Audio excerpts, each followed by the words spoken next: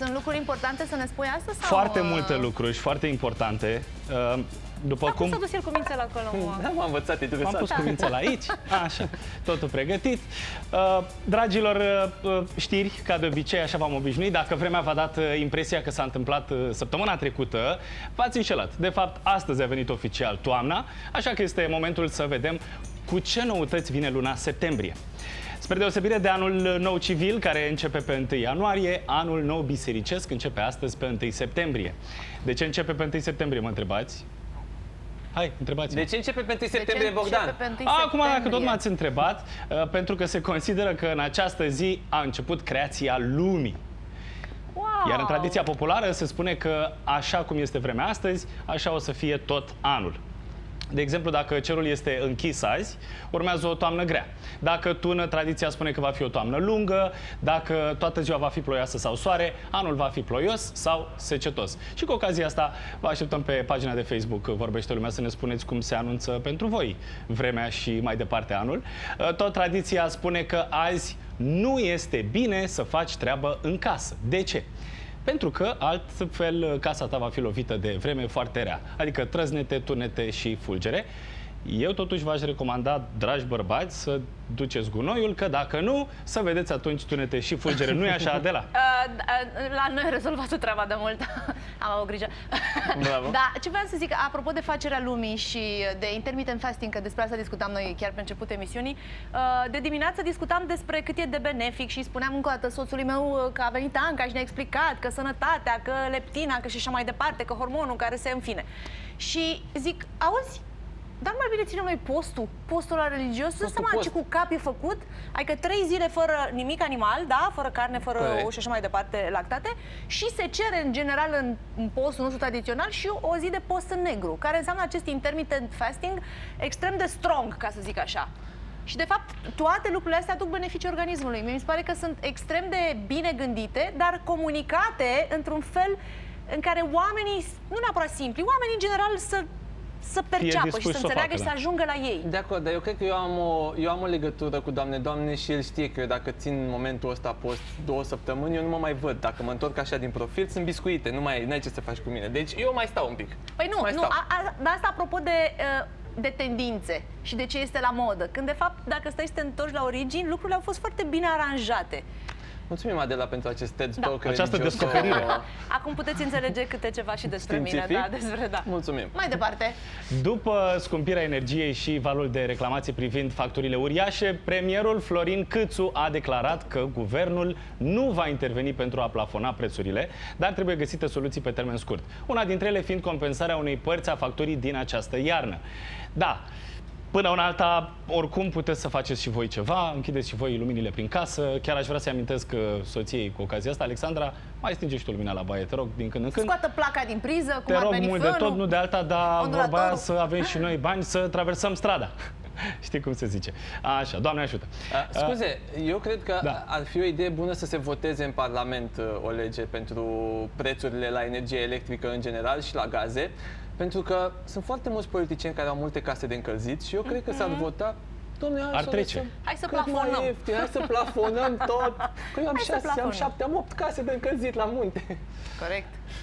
Merg uh, mai departe către da, scuze-ne că un, te-am deranjat. Da, o da. declarație super importantă și mi-a rămas în cap chestia asta și sper să vă rămână și vouă. Colegiul Medicilor din România solicită autorităților să ia măsuri pentru combaterea fenomenului certificatelor false de vaccinare și tot Colegiul Medicilor a declarat Citez, fiți, fiți foarte atenți că eu am visat declarația asta azi noapte, vaccinarea falsă îți aduce sănătate fictivă și răspunderea în fața legii. Am încheiat citatul. Cool. Cât de bună e asta? Cool. Vaccinarea M-a falsă îți sunat o aduce prietenă sănătate care fictivă. are fratele ei, Dana Rogos, da, mai exact. Uh, fratele este mm, medic uh, infecționist și uh, a spus că sunt foarte multe cazuri de oameni care vin îmbolnăviți acum cu COVID și de fapt, după jumătate de oră de discuții, recunosc că n-au fost vaccinați și că au obținut un certificat fals. Mi se Dar pare exact despre asta incredibil. vorbeam ieri, nu? Nu ziceam, Ba da, dar bineînțeles. ziceam în glumă ieri. În glumă, dar lucrurile sunt adevărate și, uite extrem de că triste. E foarte trist, nu e, nu e de glumă cu treaba asta până la urmă. Mi se pare că e ca și cum îți iei uh, carnet de șofer, dai șpagă să-ți iei carnet de șofer Și fără pui să pe- știi te să duci în conduci. trafic. Și toată lumea crede că ești ok și tu ești un pericol pentru toți. Exact, fix așa e. Noul an școlar începe pe 13 septembrie și ne dorim cu toții să știm la ce reguli să ne așteptăm. Deși acum câteva zile Ministrul Sănătății, doamna Ioana Mihailă, a anunțat că măștile textile vor fi interzise în școli. Între timp, doamna ministru a anunțat o excepție pentru elevii claselor 1-4. Ca să înțelegem mai bine noile măsuri pentru deschiderea anului școlar, în dimineața asta la Vorbește Lumea află mai multe de la Andrei Baciu, secretar de stat în Ministerul Sănătății. Bună dimineața, domnule Andrei Baciu, bine ați venit în direct la Vorbește Lumea. Bună dimineața, mulțumesc foarte mult pentru invitație. Uh, în ce condiții, domnul Baciu, încep copiii școala pe 13 septembrie? Sunt vizat direct, fetița mea are prima zi de școală din viața ei pe 13. Este într-adevăr, așa cum spuneți, un moment extrem de important pentru fiecare familie, pentru copii, pentru părinți. Și tocmai de asta, anul acesta, am încercat să facem lucrurile mai din timp, să venim cu un set de reguli care să ofere copiilor condiții maximale de siguranță pentru această, în această situație uh, pandemică. Și atunci școala va începe pe 13, însă, după cum am văzut în ultimele zile, au fost mai multe comunicări.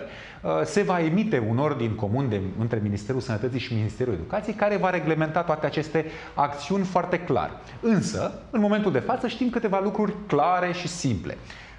Școala începe, bineînțeles, cu un eveniment de deschidere. Un eveniment de deschidere care este un moment simbolic, cu o mare încărcătură emoțională și aici aș vrea să facem câteva uh, precizări. În primul rând, acest eveniment se va ține în afară, nu se va ține în interior.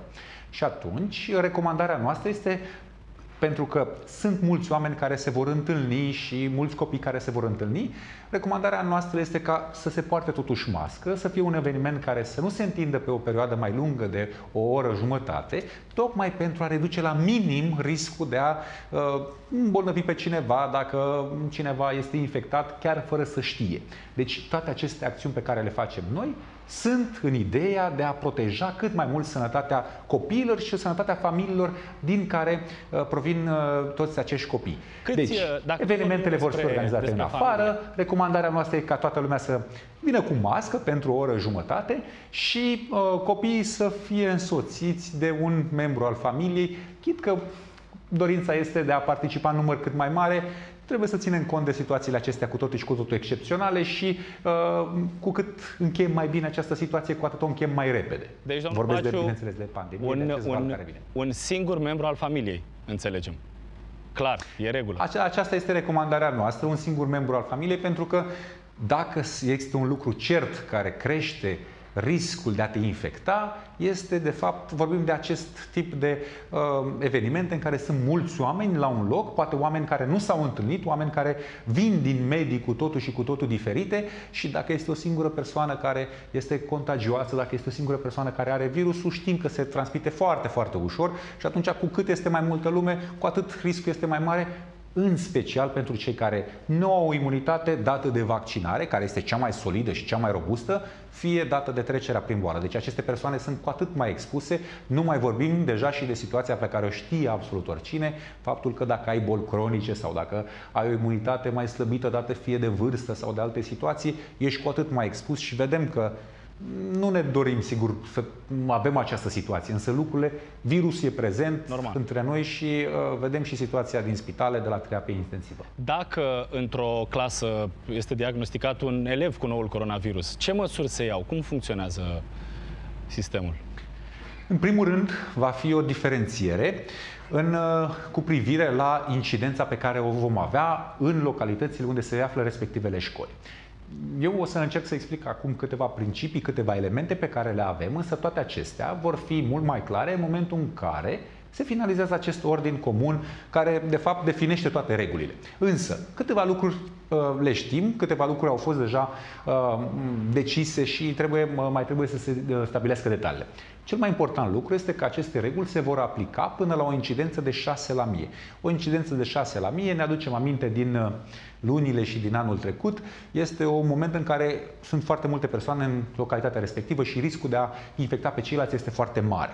Asta este un, asta este un element important. Un al doilea element important este că în momentul în care uh, apare un caz pozitiv într-o clasă, trebuie să ținem cont și de posibilitatea biologică pe care știința ne oferă în acest moment, aceea a vaccinării. Vaccinurile te protejează de boală, sunt sigure și eficiente, însă nu, în momentul de față nu există recomandări pentru toate grupele de vârstă. Vaccinurile sunt recomandate în momentul de față pentru copii care au cel puțin 12 ani.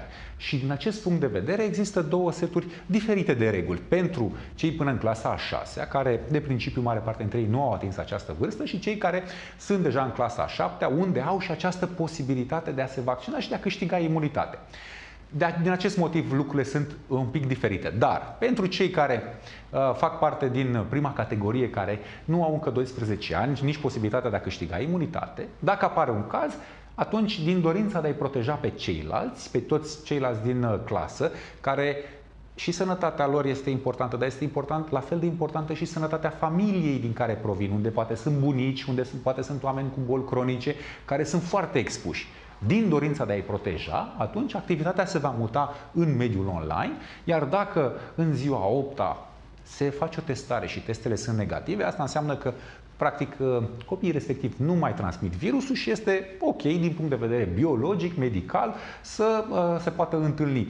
Pentru că toate regulile pe care le avem, ele protejează într-o mare măsură. Vorbim de purtatul măștii, care pe care îl vom menține. Vorbim de reguli foarte clare care vizează aeresirea, pentru că dacă aerisim între, între ore, practic se creează acești curenți de aer, virusul se transmite pe calea aerului și atunci particulele au toate șansele să fie mutate la exterior. Deci sunt toate aceste reguli care vor fi definite foarte clar, însă în linii mari cam aceasta va fi uh, direcția principală. Mulțumim mult, uh, Andrei Baciu, secretar de stat în Ministerul Sănătății. Bun, este foarte clar că vorbim de recomandări, nu de obligativitate și asta este foarte interesant. Dar mie mi se pare că dacă Natalia a dat, de exemplu, Bogdan va trebui să aleagă membru preferat al familiei cu care să meargă în prima zi de școală, e clar că o să meargă cu unchiul șurubel. Da, unchiul șurubel o să fie la treabă, tatăl Bogdan o să fie la treabă,